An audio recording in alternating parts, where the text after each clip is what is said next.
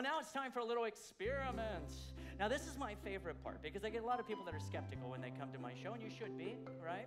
So at this point, I need to borrow five gentlemen. I'm going to leave it up to you. If I throw a piece of paper out or a ball, you're going to think I'm throwing it to a specific person. So I'm leaving it up to you. Five gentlemen, five gentlemen that'll come up here just for a few minutes, all right? So what you do is you wait until I tell you. Get up here. But I need five guys to think for themselves, okay, make their own decisions. So ask your wives if you're allowed to do it. First five, one, two, three, four. We need one more. Who are we gonna get? Pick a number, guys. Just stand behind that number. We just need one more. Who's gonna be the last guy? Come on, you're gonna miss out on this, or else I have to pick somebody.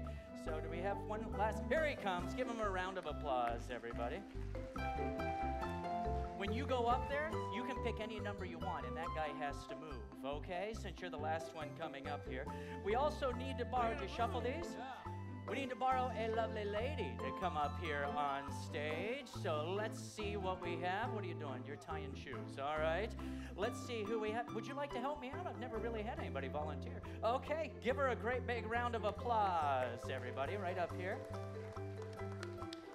great. You're doing great. You're doing great so far. Yep, you're taking the stairs like a pro. Yep. Microphone right here is for you. I'm going to move you over just a little bit. Right up there you go. What is your name? Michelle. Michelle. Michelle. Hold on to those. I don't want to touch those anymore. Very good. Now, Michelle, I have something for you. And it's these little cards I'm going to set them right here.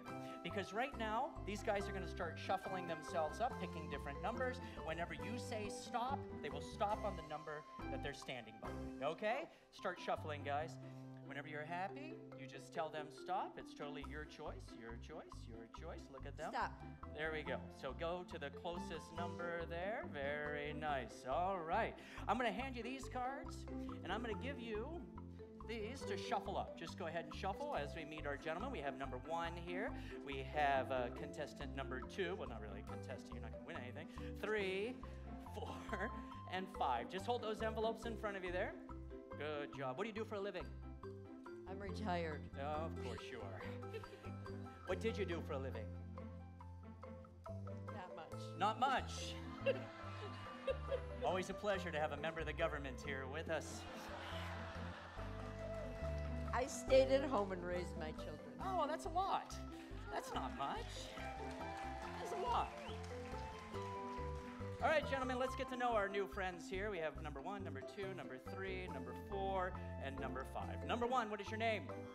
Armin? Like the hammer? All right. Number two, Steve. Number three, Scott. Number four, Mike. And number five, way down there at the end. What is it? Vinny. Vinny. Oh, I have a cousin named that. Come on, who doesn't love a 1980s movie reference? I want you to look at these guys here. They look pretty interesting. We have a nice mix of guys up here. Would you agree? Yep. Yep. Do you know any of them? No. And let's just reiterate we did not set anything up before this. Good. Let's get to know them just a little bit more. What do you do for a living, Armin? You're a pharmacist, all right? Pharmacist. And Steve, auto repair. Oh, I just do that. And Scott, a what? Musician. Musician. What do you musician? Trombone. Oh, I used to play that in school too. And let's see, who do we have? Mike.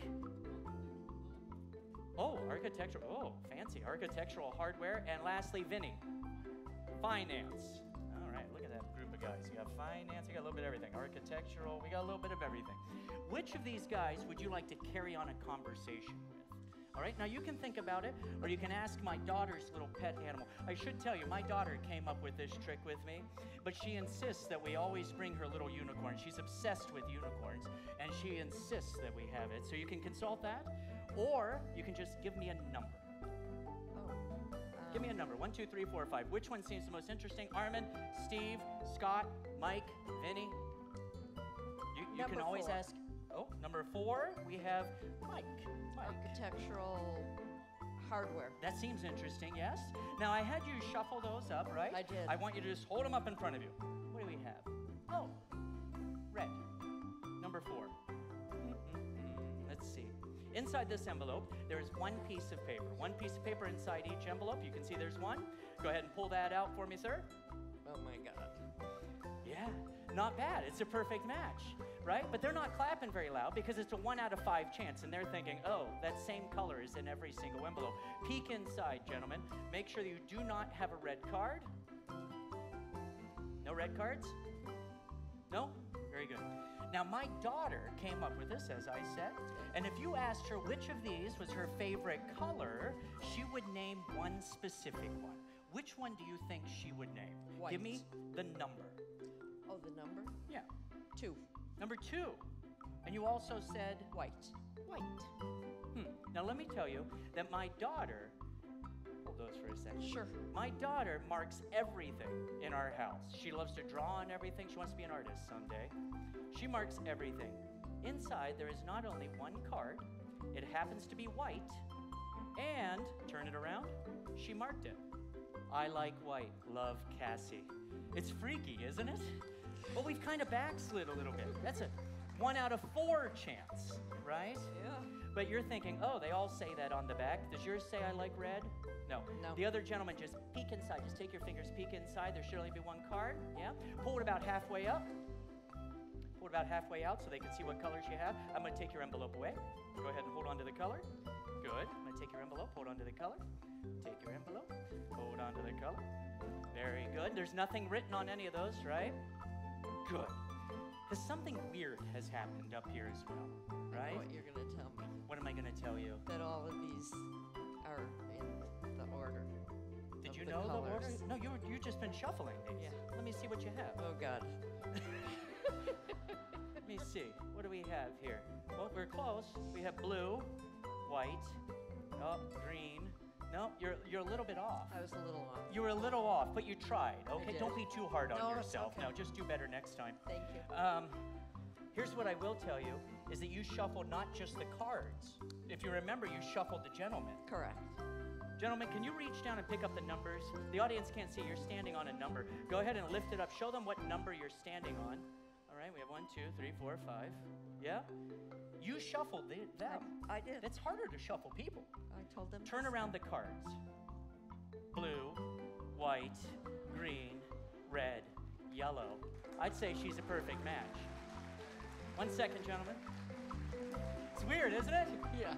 We're going to take it a step further. I can't wait. You can't wait. It's a little freaky, isn't it? It's a little Now I call this coincidence or influence, but there's no way I I influence always you say to of my when. husband, "How do they do that?" I know. I say that too. But see, I didn't do it. My daughter did this. In fact, before I ever came on the ship, before I met, where are their names again? We have them right here. Before I met Armand, Steve, Scott, Mike, Vinny, remember she sent me with her unicorn. And on that unicorn, you can see there's a little collar that's etched with a little number with letters on there. Can you read the letters? V. They're, they're etched right on there, right? A S S M V. Armand, Steve, Scott, Mike, and Vinny. Ladies and gentlemen, let's hear it for everyone that helped us out up here.